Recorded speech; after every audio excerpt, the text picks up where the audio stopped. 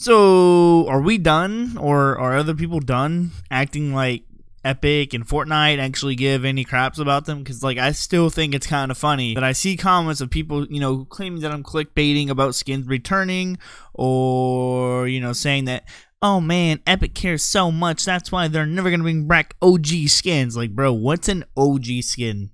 Someone let me know what an OG skin is in a battle royale game that isn't publicly even released as a public game, but it's still in beta form, but yet it's already sold, you know, with cosmetics and advertised as a public game. Kind of doesn't make sense to me.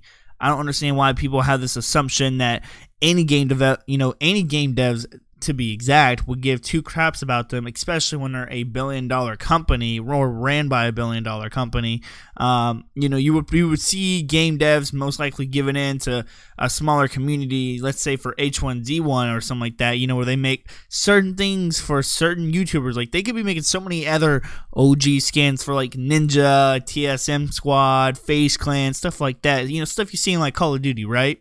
This is epic now, if you never played a game on Epic Games, you don't know how Epic actually runs. They don't give two craps about who you are, what you bring to the table, what team you play for. None of that matters. Epic has has not even in the most recent years been in the spotlight of any esports or MLG or anything like that. Meaning Fortnite is their biggest hit.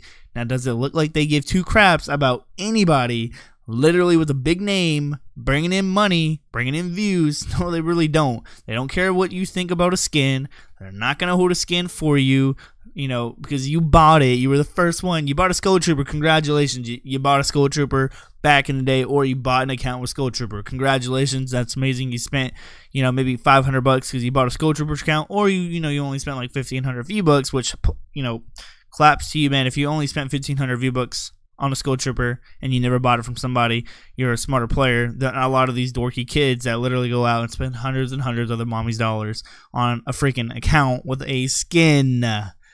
Anyways, again, can we just stop acting like they care? Like no one, like I don't know why people want to be all cared for. Like what, what general, like what are we living in where people are like, yeah, man, Epic cares so much. They love us. We're the OGs. They're never gonna bring it out. Literally Look at these. Look at these. They're never going to bring back out the Battle Hound? Right, bro. That's why it's out today. I don't know why people are so, so weird, man. People are like, I want to be loved. They're never going to bring it back. I'm an OG. I bought the skin. I was the first one. You should have been playing in season one, you noob, if you wanted the skin. Blah, blah, blah, blah, blah.